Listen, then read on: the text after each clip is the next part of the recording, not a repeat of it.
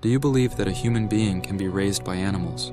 If not, watch this video because the children in this video are real-life Tarzan or Mowgli.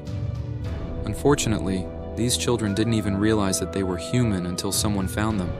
But some of them said that after getting to know humans, they realized that true peace is not with humans, but with animals.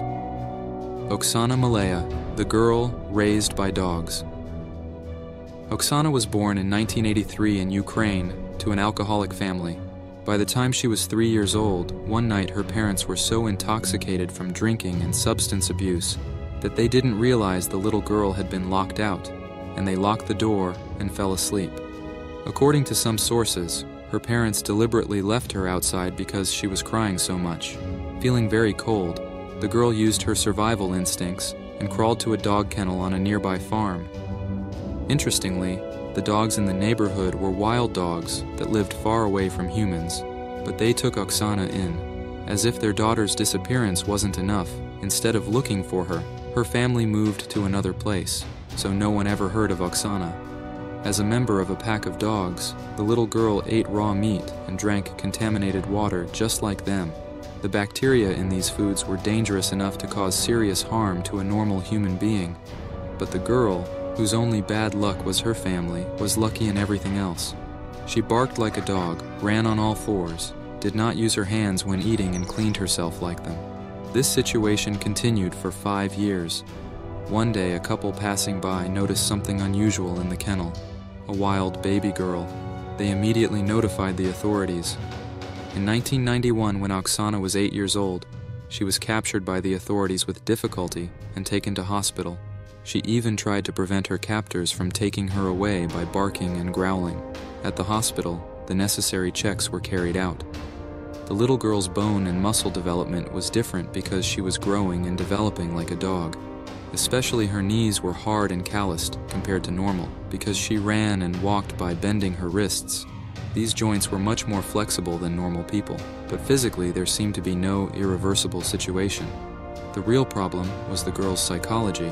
After weeks of therapy, doctors were able to establish near normal communication with Oksana. At the age of three, her ability to speak human language was an important factor in this recovery. When the authorities could not find her parents, custody was transferred to the state, and Oksana was placed in a home for mentally disabled children. Here, her social and behavioral education continued for years. Today, at the age of 41, Oksana Malaya has only the social skills of a child, despite years of treatment. Although her doctors said she was unlikely to make a full recovery, Oksana was aware of what she was going through and was upset when she was called dog woman or wild girl. Because she wanted people to treat her like a normal girl, she had a sense of humor and enjoyed being the center of attention. However, she was more masculine when she walked and rough when she joked. Also, when she was given something, she immediately hid it somewhere. She could count from 1 to 10, but could not learn addition and subtraction, and could not spell her name correctly. Now Oksana lives on a state-protected farm in rural Odessa.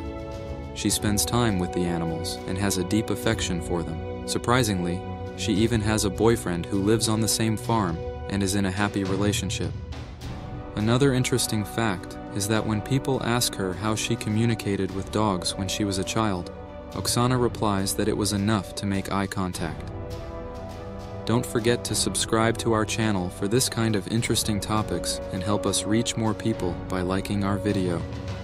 Marcos Rodriguez Pantoja, werewolf. Born in 1946 in a village in Andalusia, Marcos Rodriguez was one of three sons of Melchor and Araceli. Marcos's mother died with the baby when she gave birth to a new sibling.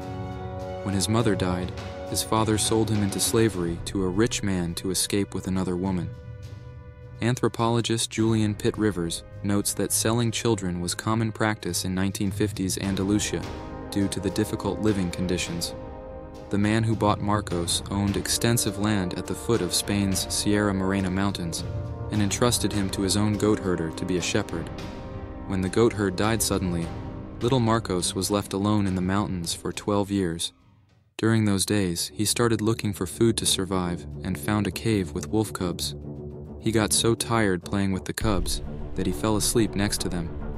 When he woke up, the mother wolf had brought food for her cubs and was looking at him angrily.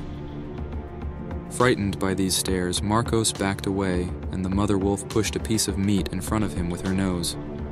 From that day on, Marcos became part of them. For 12 years, he slept with them, fed with them, and learned to survive like them. One day, Marcos Rodriguez was eating fruit by himself when he came across three men walking in the woods. Although he tried to run away from them, the men grabbed him, tied his hands tightly, and took him first to the barber shop and then to prison. The officers found Marcos's father, Melchor Rodriguez, and brought him to his son. Instead of consoling and pining for his son, the father began to ask him strange questions. Then, when he wouldn't take him in, two shepherds took poor 19 year old Marcos in. During their time together, the shepherds taught the young man to speak normally, eat normally, and behave normally. Rodriguez enlisted in the army in 1967, but during training, he almost caused the death of a soldier, so he was discharged and started working in construction in Madrid. Because of his lack of insight into people, he was repeatedly deceived and swindled. Finally, he met Manuel Barandela, a retired policeman, and they became very good friends. After this friendship, things got better, and they lived the rest of their lives together in peace and quiet. A movie called Entre Lobos was made about Marcos's life, and several books were written, but all this did not bring him much. Marcos said, People still keep coming. Some of them think I am rich and want to exploit me, but I don't have a single penny. Most of them have the same goal. We should fear these deceitful people more than the wild animals we perceive, Marcos says. Amala and Kamala, wolf sisters.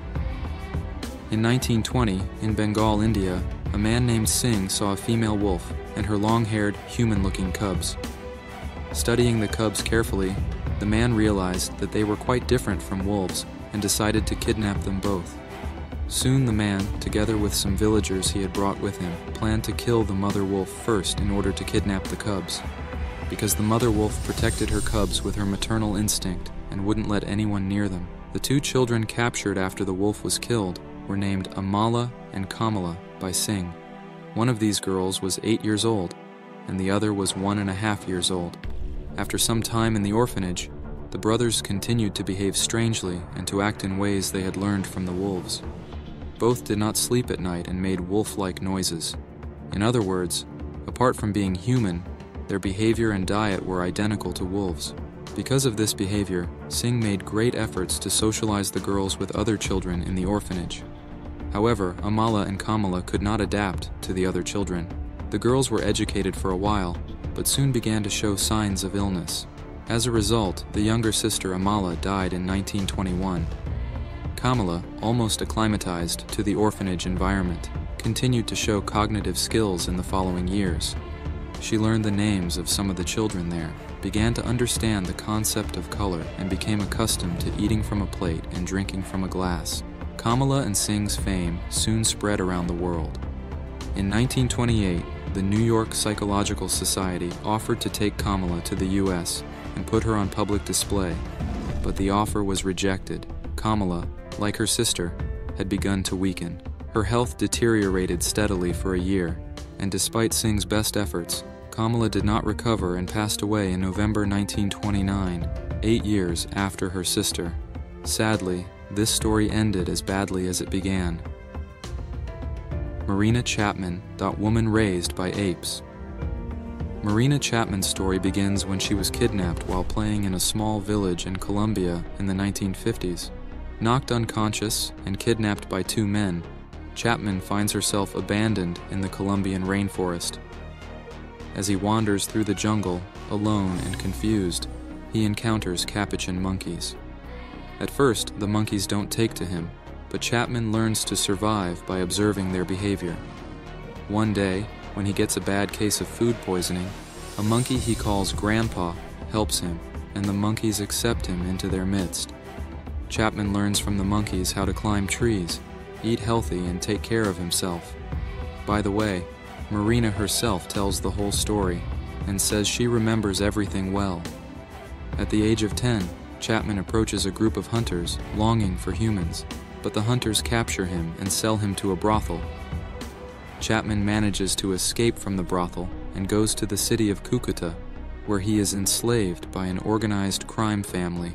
One day he manages to escape again and is adopted by another couple. Her new family gives her the name Marina. When Marina becomes an adult, she meets a man named John in church and decides to marry him. Finally, they both move to England, and Marina's story has a happy ending. This story would make a great TV series, wouldn't it? Marina's story has caused great controversy among researchers and psychologists. Some say the story is too incredible to be true and is an example of false memory syndrome. Others argue that everything she says is possible if you put everything in order, but neither side can come to a definitive conclusion. Yes, the story was told by Marina herself, so it is normal not to believe it. But as for whether it is possible or not, I think, why is it possible for a human being raised by wolves, but not a human being raised by monkeys? And what do you think? I have only mentioned four cases to keep the video short, but if you search, you will find many more cases of this kind. Animals may not be as smart and logical as we are, but believe me, they are not as harmful as human harm. I hope these cases will help us to better understand why we should always show compassion to animals.